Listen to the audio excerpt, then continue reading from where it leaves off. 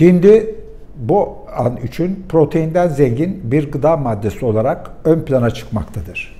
Burada doğrudan doğruya e, 120 kalori 25 gram da bulunabilmektedir. 0 gram karbonhidrat 2 gram yağ sağlar.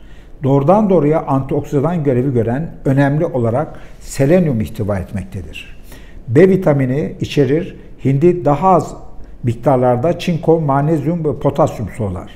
Koyu ete nazaran daha yağsız olması daha faydalı olduğunu gösterebilmektedir. Aynı zamanda triptofan ihtiva etmesi bunun vücutta bir yumuşaklığa ve daha relax bir hale gelmesini sağlamaktadır. Eğer e, hindi tüketeceksek yanında bakliyat da muhakkak koymalıyız. Mercimek, fasulye, bezelye gibi bunlar da değerini daha çok arttıracaktır.